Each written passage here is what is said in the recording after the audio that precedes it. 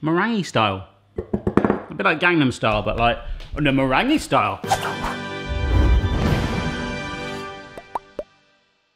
Hello everybody, uh, hope you're well. About uh, a week ago maybe, I put up a video for free ingredients to try one time in your life and you guys absolutely loved it. Uh, you're like, do this again, make this a playlist, like wear it.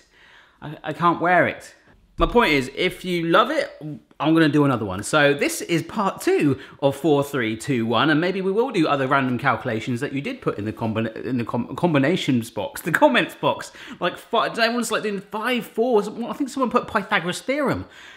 But yes, we are going to be doing this today. Very, very exciting. As like the last video, a lot of you like, oh, Barry, you could have done water, you could have done seasoning, but I really wanted to show you how simple and easy food can be with just three ingredients. And then you guys pimp it up and it just looks way better than mine. But before we get started on this, something happened on the giant Jammy Dodger video, didn't it? I think I just broke the Wrapmaster 3000. Yes, that's right, my Wrapmaster 3000 broke, but being the guy I am, I already had another Wrapmaster 3000. This is exactly it. Look, it says Wrapmaster 3000 on it. And this, I don't know why. I don't know why I didn't see this before because I could have compared them. This is like, the width is half of it. It's lighter, it's easier to carry. But this one, it should work. We'll quickly look at this because we might need it in a bit. Uh, it's actually got a locking system on it. So you can pull the flap down like this but then if I push it out to unlock, we can lift out the center, which is where the sharp blade is. Uh, when I dropped it, the black thing shattered on the floor. And this was what was actually attached. They're wedged to the special film that you buy. Yeah, so that they make you buy the expensive film. But you get loads, so it's all good. So it's got a special connection thing on it. That goes in there. And look, it should... Ooh. We feed it through our blade, and boom, this will be a new Wrapmaster that we just put in and then lock in place. So there we go. Wrapmaster's not gone. It was just always with us. But apparently there's a Wrapmaster 4,500. Proper jealous.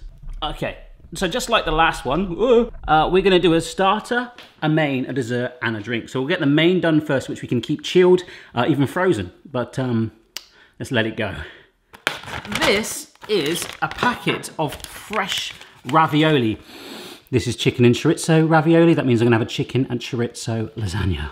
Oh Yes. My point is they had loads of different raviolis in there and to help make our lasagna and give it some extra hidden flavor, we're just gonna chuck this in with our cheese and sauce. That's it. So we're just gonna get some, this is some passata, okay? We're then gonna get our ravioli. Well, hey, I've just jumped out. In fact, I will push them together. If I spin them round, spin them right round, baby, right round, like a ravioli, baby, right round, round, round. This is um, some grated cheddar.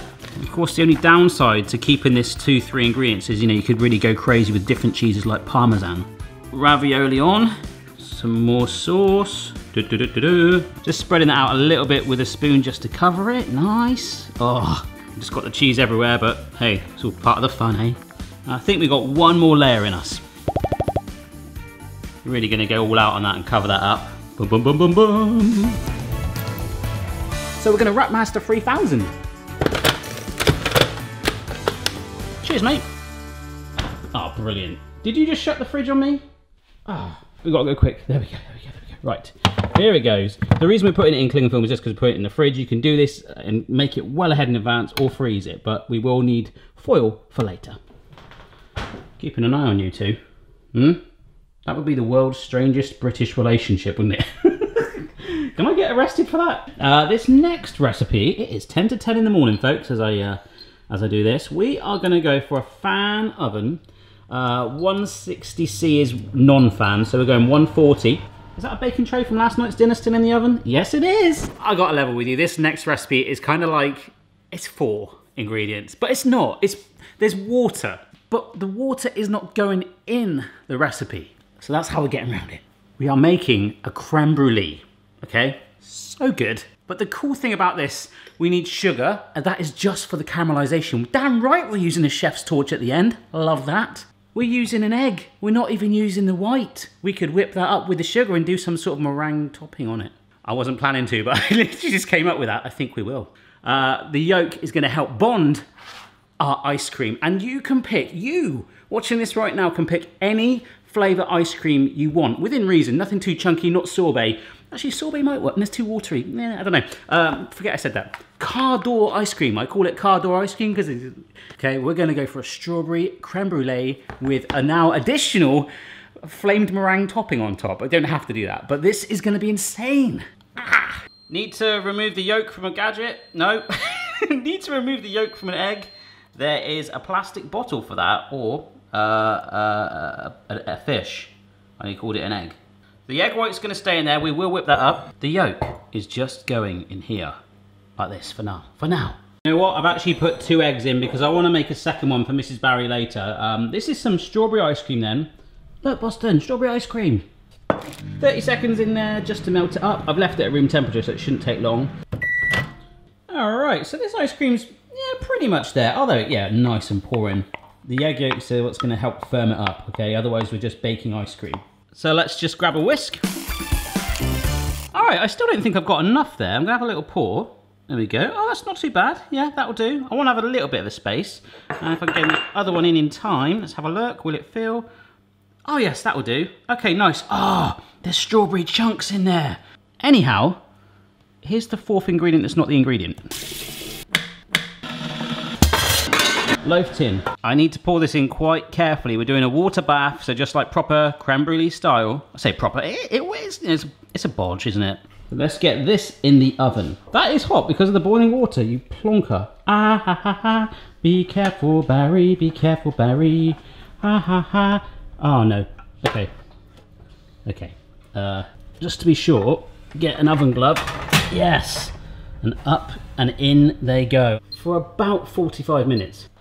Well, we need our sugar for the creme brulee topping anyway, but let's say with the egg whites, you might as well whip them up.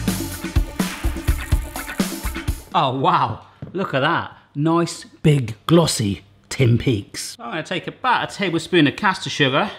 Take the speed down a little bit. Boom. Look at that. So we might use it, we might not, but we can use that for a garnish on our dish. Meringue style. A bit like Gangnam style, but like on the meringue style. All right, here we go then, folks. It is done. Oh my gosh, am I going to drop this? Please don't drop it. Ugh. It's shrunk down a teeny bit, but I'm happy with it. So what I'm going to do is carefully lift them out, and I say carefully, that means without filming at the same time, onto here to cool down to room temperature. Is that going to do it? Oh no, these are really bendy. Come on, you should be able to do it. Your tongs, what else are you good for? Uh, what about these tongs? Remember these? These were amazing. Come on. Ah, oh, gosh. Despite spending an absolute fortune on ingredients, ouch. No, I can't afford a tea towel, that was my point. Ha, there we go. Oh yeah, first time. No problems. Linton, can you edit that out? Cheers, mate. Look at that. All right, so they're out of the boiling hot, ah, that's hot, uh, bath, and it's going to just sit for a moment. That was a moment, but longer than that. You guys know me too well. This next one is going to be... Do you know what would happen if this exploded? There'd be debris everywhere. Uh, so we've got some cranberry sauce, brie, and this is some bread. Now, we had to get as much flavour as we could into the bread. There's lots of other ones. This is a focaccia. But we're just cheating here because this is a flavoured loaf. That's the way this three thing works, all right? Ow, ramekins are hot. So we've got the brie, and we're going to use this as a sort of template. It's kind of like Jammy Dodger territory again. We're going to cut out a hole. Not a heart shape this time, though. Wow, that looks huge. It's not. I've just sort of put it so close to the camera. But we're going to cut around it and I'm probably going to have to move the camera because I'm going to hit the microphone. All right, so we should have a, yeah, we've got a hole there. I'm not going to go all the way down. I'm going to sort of slice it just to take that top layer off. Oh, yes. So what I'm actually going to do is I want to keep it a little dense. Now, hopefully, this thing will fit snugly in. Oh, you beautiful thing. Look at that. Oh, oh. Now what we're going to do is make some, this is going to sound really weird, fingers on the bread.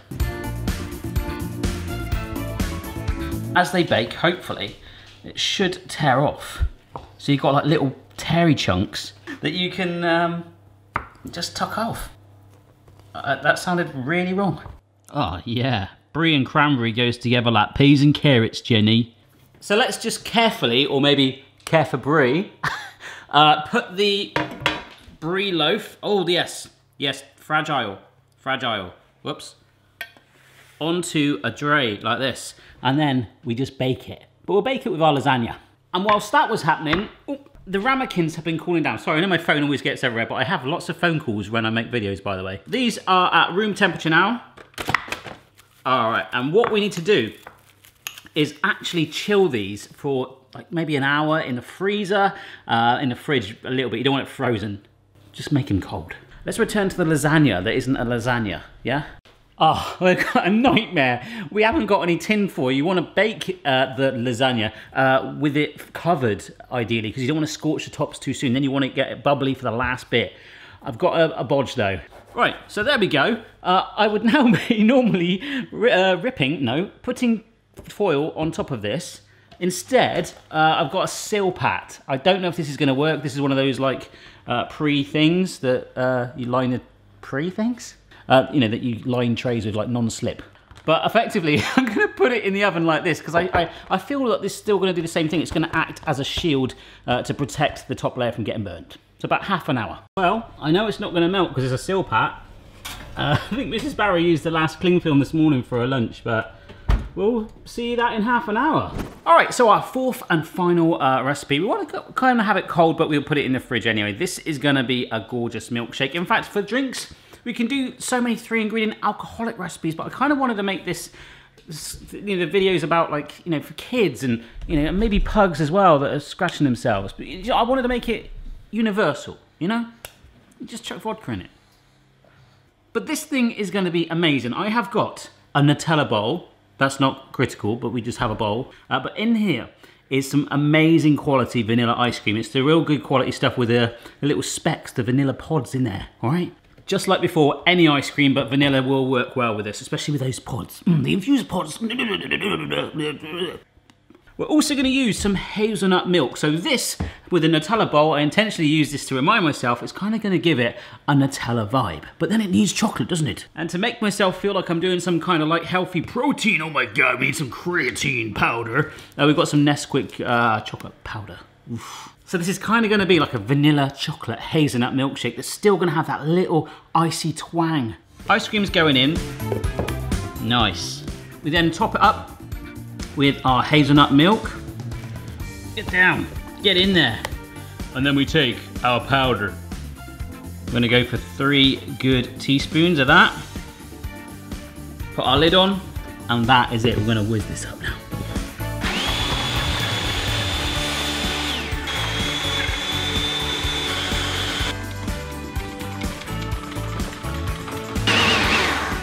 Done. Oh. Oh, you see that? That, that sort of rough chunkiness to it. Boom, chicka wow wow. This oven did get turned up. I can't remember if I said that or not. Turn up for what? Uh, in goes the brie. And I'm gonna give this another five minutes. And the only thing with that brie, um, it would be really cool if I used the four ingredients to brush oil on the top because that would really give it a nice golden brown sort of surface. Focaccia, focaccia is actually quite oily anyway, so it might help that. But if you're doing this, put a teeny brush of oil on there, season it as well, all those stuff that I'm not doing, and it'll be mwah. All right, boom. I think it's worked. Oh yes. Okay, it's it's it's not browned, it won't be, but it's protected it, which has helped cook through the ravioli. So now I'm gonna keep that cooking the lasagna uh, for like 15, 20 minutes until it's golden brown, and the brie needs about 20 minutes too. So whilst that's happening, we shall do the um, the strawberry things, that's it, yeah. So what I've got here is a teaspoon of sugar and we're just gonna sprinkle that on top of our effectively strawberry ice cream custard. A little shimmy just to even it out. It has like shrunk a little bit in size, but I don't mind that. I don't mind it because we're gonna try and do the meringue thing as well. It's gonna be a brulee meringue. Bruce Lee meringue. this is like a chef's torch thing. You can do it under the grill if you haven't got one of these. I'm going to lightly caramelise up the sugar.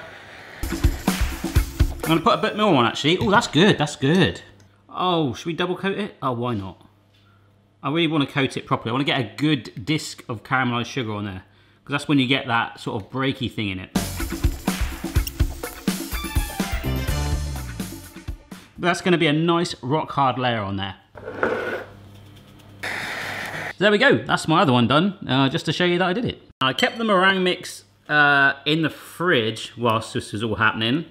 Uh. Oh, this is cool. I like this. No problem is because it's not done fresh, I, I, can't really spike it, but I'll do my best to. I think we'll go like really rough like this. Basically hacking it up with a spoon. But this is just an optional thing I was going to do. I, you know, I'm just going to see if we can make this a thing because you're using up the whole egg. Look at that. I like that. Looks like popcorn. Yes! I love that. Just to show you on my spare one, uh, how quickly it cools down and the time it did for me to torch that meringue. See? Oh, and you've got the strawberry custard underneath. Beautiful. So there you go. I'm not eating this one. Well, I might. In fact, I... Oh, no. Mrs. Barry can have... Yeah. I'll dress it up later. Awkward. I just checked the oven. The brie is melting and gooey, and the, the lasagna thing is, is like a hot bubbling mess. oh, look at that. Uh, I've just taken this out of the oven. Look, it's toasted. The gooey cheese coming down the centre there. Ooh. Look, you beast. Ah. You know, the other thing I was thinking, oh my gosh. Oh, yes, look. Oh, I really want to put herbs on it. I can't. But on that sort of topic, oh, uh, that's quite a big portion. you could have used like more like herb infused sauces as well. I mean, it's baked ravioli in it, but lasagna sounds cool. Oh yeah, that has toasted. Oh, the top is so crunchy. I don't know if this is going to work. I'm not really a, a brie expert. Come on, break the seal. Break it. Oh, oh yes. Look at that. The only thing is I actually generally hate brie. I'm hoping cranberry will mask it. Look, look, look, look, look, look. Oh. I don't, oh, I don't like it. I don't like it. I like cheese when it's melted, but brie, I don't know, I find it quite strong. Oh, cranberry. Oh, cranberry. Mm. Oh, the cranberry really did mask that, but then all of a sudden it's got this like kind of like beery vibe in brie. I don't know if it's just me, it gets it like real tang that's just a bit too kind of blue cheesy territory. You get me? But uh, let's do the others. The lasagna, which is just Oh, that is so rich. Really tomatoey, the cheesy tang in there, and that chicken chorizo. We're forgetting about that. It just looks like parcels of pasta. Chicken and chorizo running through it. Mix it up. I mean, obviously, the instead of using this, I could have just used sheets of pasta, but then you're not getting the bechamel sauce of lasagna. So this is really making up for it. So I call it lasagna, but obviously it's just like a ravioli bake. It just, yeah, I like it. I really like it. The meringue topped brulee. Oh, I just broke through the disc. Come on, let's get some of the, oh, look at that. I've got meringue, I've got the sugar and the custard strawberry. Oh, wow. Oh, that's really, really good. You know that charness? That's what hopefully I'm sort of showing you with this. Obviously, there's workarounds by like getting ingredients with flavour already in it. But by charring it and things like that, just gives it more flavour. It's baked ice cream. Oh, Oh, last up. It's got a little bit of a, a, foamy head on it now. Actually, I feel like with a glass like this, I should have roller skates on. I don't. Oh my goodness. Oh, the, the, hazelnut milk in there really does give it a delicate Nutella vibe. But then you're getting those like vanilla pods, those seeds from that more expensive ice cream in there. But, oh, I mean, if you just use standard ice cream, put fresh vanilla pods in it, hmm, hmm, um, I don't know which one's my favourite. Well, I know the brie isn't, but the cranberry in the brie works well. So I don't know where you go from here. I was actually planning on doing a taste of the world playlist and doing different countries or regions within each country, start a main dessert. But I feel like maybe if you guys like this, I've got a few other adaptations I can do for a few more weeks if you like. But check out the first one if you haven't seen it already. Uh, if you give any of these a go, any of my recipes, you guys are sending me pictures on social media. I absolutely love it, so please do that. And uh, I think I'm gonna have a very nice lunch. Bye. Check your level player. No matter what your style, the kitchen's for me. Simon's moustache, goatee, maybe all three. Hello, Barry viewers. It's me, Stuart. You know, the guy who eats tarantulas, destroys soda streams, and can't cook. As you may know, I'm making a second feature film, and I've somehow convinced Barry to appear in it. This weekend is the last chance to contribute to our crowdfunding campaign and help bake our hard work and ideas into a lovely cinematic cake. So if that sounds like a thing you might like, check out the page via this link. Thanks, folks.